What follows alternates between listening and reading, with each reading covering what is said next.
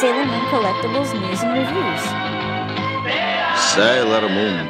Welcome to the new video, yo. We're talking about the Egg Studio Sailor Moon figure. It's a 1-5 scale figure, meaning it's almost as big as my biggest figure.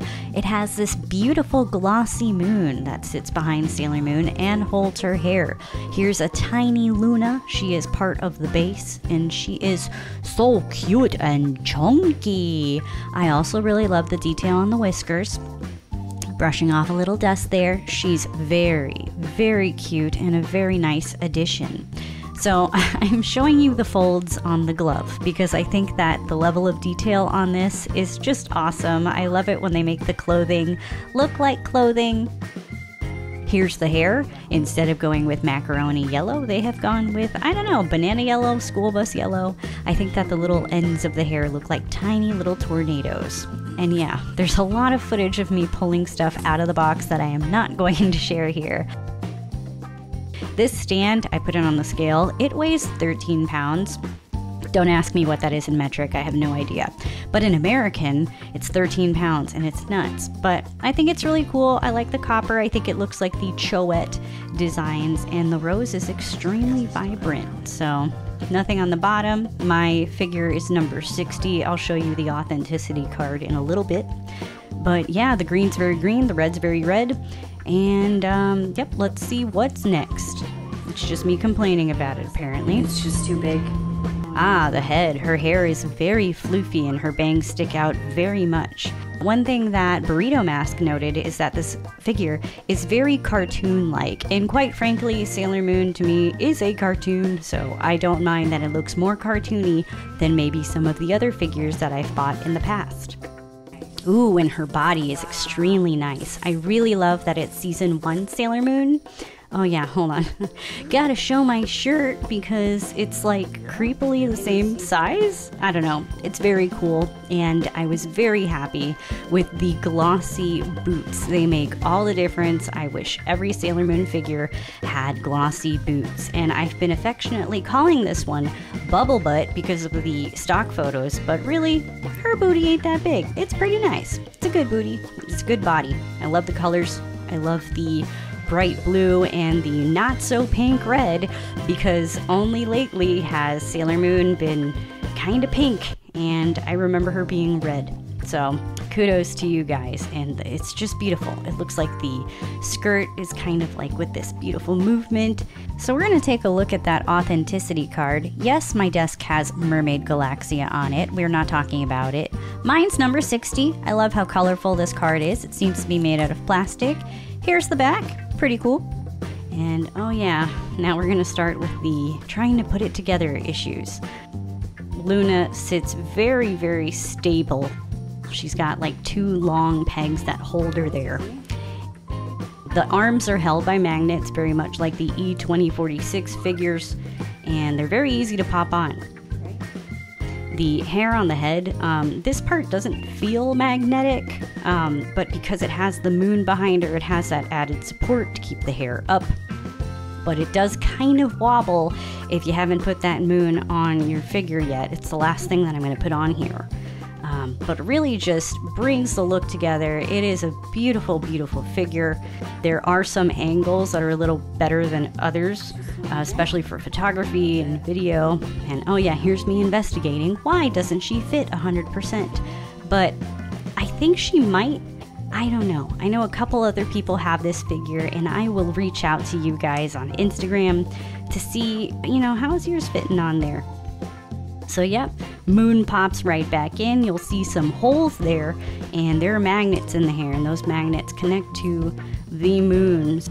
It's a weird thing for the hair to connect to, but okay. It's a pretty sturdy figure, and again, I really love the colors. You know, it's these beautiful primary colors. It's also the colors of America. I love the bow TTL.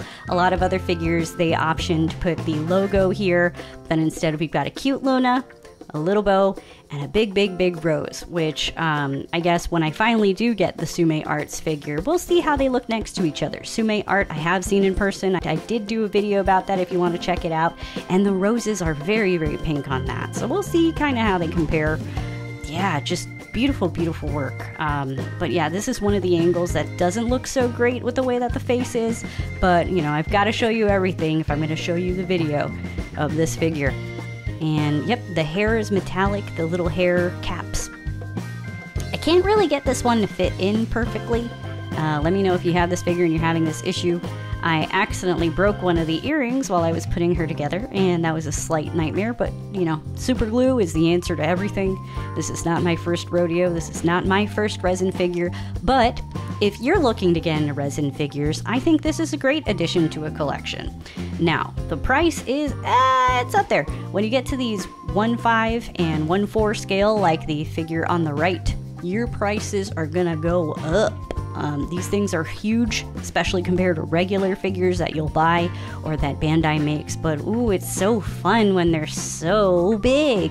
So these are made by different artists, and you'll notice the different color selections. I know that one is, of course, regular Sailor Moon, the other one's Eternal Sailor Moon. But it's interesting to see what changes and what choices the artists make when they're creating these figures. For example, the Egg Studio figure that we are reviewing today does not have optional faces or optional arms, while the Gakabox Eternal Sailor Moon does. And what are we looking at here? I guess we're just looking at everything. And we're comparing the macaroni hair to the yellow school bus banana yellow hair. I mean, there are a lot of choices that creators need to make when they are making these large scale figures. And oh, haha, gotta put the head next to each other because that's the only way you're gonna see the big, big, big, big boy difference. And if you notice, the camera is searching to find the right spot because these figures are really, really big. I mean, look, at I am an adult. That is my adult hand, and I am doing my best to show you these side by side. Don't ask me why there's so much headspace on the top of this. That's better. Thank you, Burrito. And yeah, you'll see differences in the skin tone, in the eye color. It's just crazy how different two Sailor Moon figures can be. And I guess my point here is to tell you that you can get whatever you like. You do not have to have every Sailor Moon figure because, man, there are so many out there and they're so different for so many different tastes. But these are my two biggest so far. Yes, I have the Sume art on the way. Yes, I have the Supers Season 4 Sailor Moon on the way. It's, um, the naked one? I don't know. I'm gonna go crazy comparing all these figures. And again, uh, the one that is Eternal Sailor Moon is 1 4 scale. The one in my hand is 1 5 scale. They are not the same scale, so do not compare the size because they're going to be different sizes. What I'm showing you are the color differences. Now, what I do love is that they chose to make the hair caps metallic. That seems to be almost across the board. Um, if not metallic, a lot of figures do make them like a clear plastic. So, Here's another shot. I like to show you all of the angles of the figure, all of the beautiful details. I'm really in love with this, but I'm also really nostalgic for season one, especially because that's what got me into Sailor Moon. Yes, first episode I saw was season two, but, but, season one has a special place in my heart. Oh, we're gonna show you the logo twice. Okay, okay, Sailor Tortilla in the editing room. Maybe you're gonna fix that. Oh, bubble butt, bubble butt. I thought it was gonna be really big, like a really big donkey butt, but nah, this is actually quite nice. And here's the back of the figure. It's gorgeous. It, I mean, I don't have a lot to say negative about this, um, except that maybe, okay, sure, it doesn't photograph very well from the left side, but that's just one side, and you can't look at every angle all the time. That's all the time we have, guys. I am Sailor Tortilla. You can find me on all of the socials. I'm always Sailor Tortilla, and I love it when you guys let me know what you want to see on YouTube. So let me know in the comments what video I should make next.